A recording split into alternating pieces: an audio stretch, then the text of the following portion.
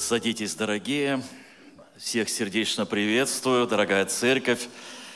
Признаюсь, э, это уже третья внучечка. Господь благословляет наших детей, и, ну и нас в определенной степени с моей возлюбленной. И это уже вот третье такое маленькое сокровище. Ну, почему маленькое? Большое сокровище.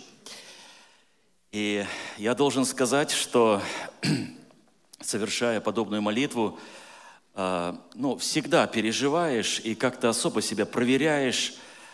Но позвольте такое вот личное что-то сказать. В этих случаях какой-то какой особый трепет. Уж не осудите, пожалуйста, за это.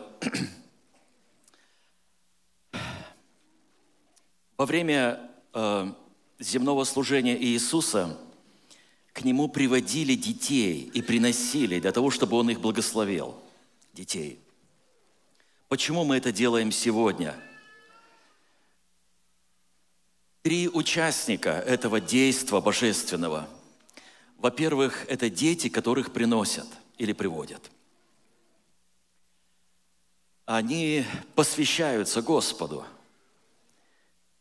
А во-вторых, это родители, которые вот удостоились стать родителями а, своего ребенка или своих детей – я должен сказать, Виталик и Сусана, что родители тоже посвящаются. Посвящаются в том плане, что вызвать жажду по Богу у детей – это ведь наша высокая задача. Ну, не потому, что мы что-то можем сами. Написано, ничего мы не можем, да, без Его благодати.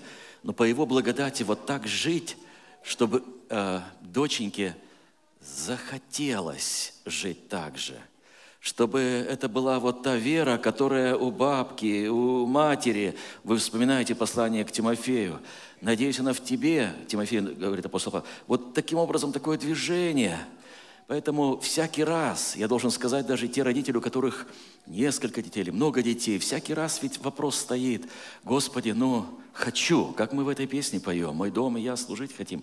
То есть вот так хочу ходить, вот так хочу молиться, вот так, вот, чтобы этот отклик, чтобы захотелось, захотелось по благодати великой, по его любви и по примеру родителей. И, конечно же, третий, главный участник этого действа – это Господь.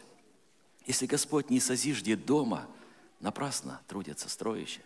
Если Господа не будет в нашем служении – ну, кому оно вообще нужно?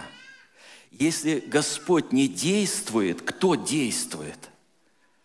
Без Господа у нас вообще ничего не получится. И мы понимаем, что зависимость от Него это, – это вот то, что, чего мы на самом деле желаем. Поэтому в этой молитве, в этой молитве мы будем как раз просить Господа а, который, который решающий, вот его голос-то решающий, за ним последнее слово, и первое и последнее, альфа и омега, да, чтобы Господь прикоснулся незримо к этому сокровищу.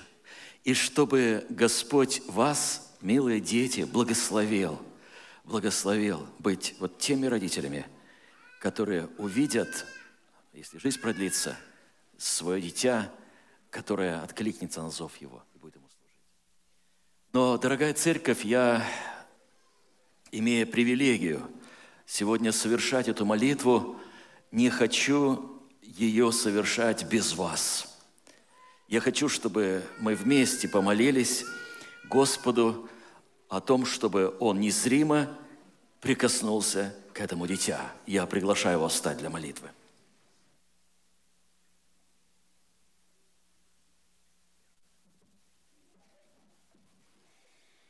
Любящий Отец, я благодарю Тебя за то, что Ты создатель семьи. И я Тебя благодарю за любимого мужа и за нашу доченьку, Господь. Я Тебя благодарю за то, что Ты нам подарил этот подарок. Помоги нам эм, быть этим хорошим примером для нее. И помоги нам привить ей то, что никто не сможет отнять.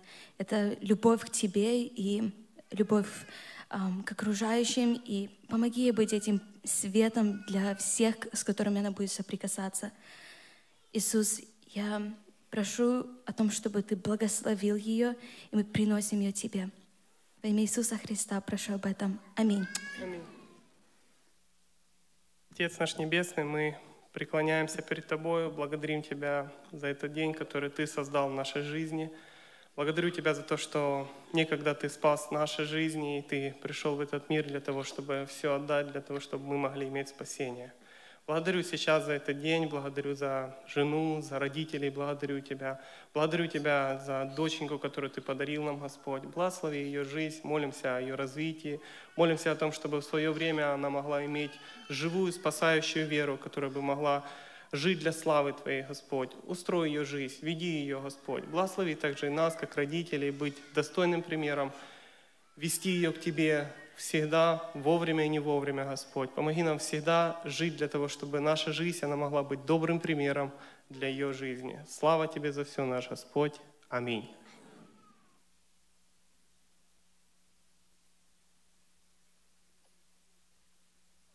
Отец Небесный, во имя Иисуса Христа, нашего Господа, мы приходим в молитве к Тебе с полным сознанием нашей зависимости – и вот в этой молитве, Господь, принеся на руках молитвы, это маленькое дитя, Господь, сокровище, я молю Тебя, Господь, излей Твою благодать на ее жизнь. Сопроводи, Господь, ее по жизни Твоей охраной, помощью, защитой, развитием. Господь, я молю Тебя, чтобы она всегда была окружена Твоим попечением. И когда она придет в возраст, чтобы она сознательно, по благодати Твоей приняла Тебя, Господа и Спасителя. Я прошу Тебя, благослови Виталика и Сусану, чтобы и они были добрым примером, святым примером, по благодати Твоей для своего дитя, Господь. Благослови их семью, благослови их жизнь, их служение, чтобы служать Тебе ревностно, они были также примером для своего наследия, Господь. Милосердный, я прошу Тебя, будь рядом – в это сложное, смутное время. Пусть и эта крошка, она будет всегда при Твоим светлыми очами, Господь, среди всех смут, непонимания, ненависти, разрухи. Господи, к Тебе приносим, милосердный, и просим Тебя об этом. Да благословит Тебя Господь и сохранит Тебя. Да презрит на Тебя Господь светлым лицом Своим, помилует Тебя. Да обратит Господь лице Свое на Тебя и даст Тебе мир – во имя Иисуса Христа. Аминь.